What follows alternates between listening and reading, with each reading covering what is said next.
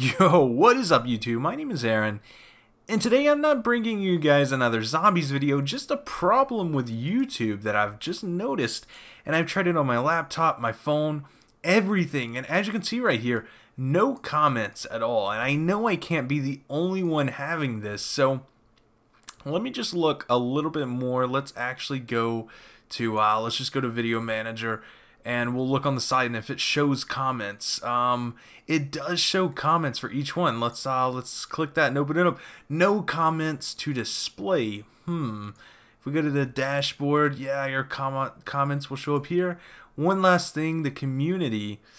No comments to display. Hmm well this seems like a problem. Hopefully youtube will fix it. Uh let me know down below just kidding. I you know, I do wish you guys could tell me if you knew what was happening, but I guess you can't because the comment section's broken. Peace.